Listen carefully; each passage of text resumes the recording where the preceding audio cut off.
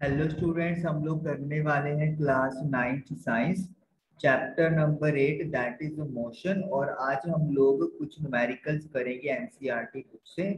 जैसे कि हम लोगों ने पिछले सेशन में इक्वेशन ऑफ़ मोशन ड्राइव की थी बायोग्राफिकल मेथड और वो तीन इक्वेशन थी v is equal to u plus a t s is equal to u t plus half a t square and v square minus u square is equal to two a s तो इन तीन equation के basis पे हमारे पास दो numericals हैं। चलिए start करते हैं। फ़र्स्ट क्वेश्चन है a bus decreases its speed from 80 kilometre per hour to 60 kilometre per hour in 5 second एक बस ने अपनी स्पीड 80 किलोमीटर पर आवर से 60 किलोमीटर पर आवर कर ली है 5 सेकंड्स के अंदर। यानी कि स्टार्टिंग में 80 किलोमीटर पर आवर की स्पीड है तो u is standing for initial velocity या इनिशियल स्पीड तो that is 80 kilometre per hour अब हम लोग इसको मीटर पर सेकंड में कन्वर्ट करेंगे तो multiply by 1000 divide by 3600 5 18 9 40 so it will be 200 upon 9 metre per second अब जो फाइनल वेलोसिटी या स्पीड है, वो 60 किलोमीटर पर आवर हो गई है। तो उसे अपन v से डिनोट करते हैं तो v is 60 kilometre per hour तो इसे आप लोग मल्टीप्लाई कर लें एंड डिवाइड कर लें। तो दो ज़ीरो से दो ज़ीरो कट हो गई। फाइव एटीन सिक्स के टेबल पे चला जाएगा। तो it will be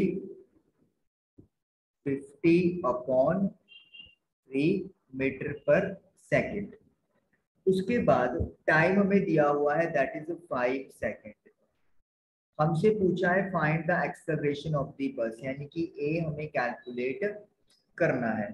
तो यू बी और टी हमें दिया है और ए हमें फाइंड करना है। तो क्लियरली दिख रहा है हमें फ़र्स्ट इक्वेशन का यूज़ यहाँ पर करना होगा। तो फॉर्मूला है v is equal to u plus a t तो v की वैल्यू है 50 अपॉन थ्री u की वैल्यू है 200 अपॉन नाइन ए हमें नहीं पता और टाइम है 5 50 अपॉन थ्री 200 अपॉन नाइन को आप लेफ़्ट साइड शिफ्ट करोगे तो साइन नेगेटिव का हो जाएगा। Five into a five a होता है। एलसीएम ले लें।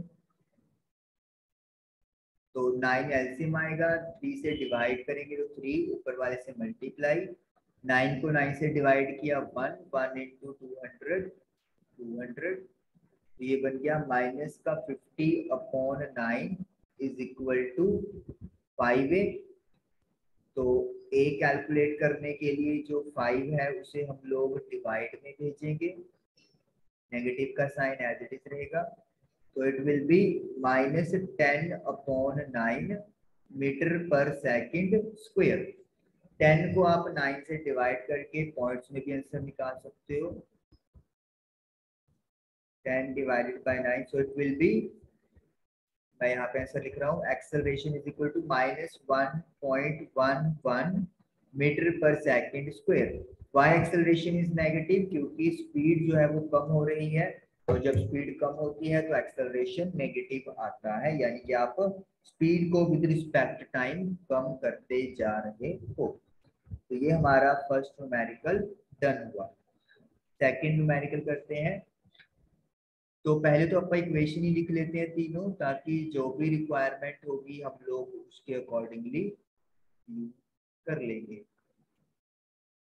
कई बार आपको एक ही क्वेश्चन में दो इक्वेशन भी यूज़ करनी पड़ सकती है as per requirement a train starting from railway station एक ट्रेन रेलवे स्टेशन से चली and moving with uniform acceleration और यूनिफॉर्म एक्सेलरेशन से मूव करते हुए attains a speed of 40 kilometre per hour in 10 minutes उसकी जो स्पीड है वो 40 किलोमीटर पर आवर हो गई 10 मिनट्स के अंदर।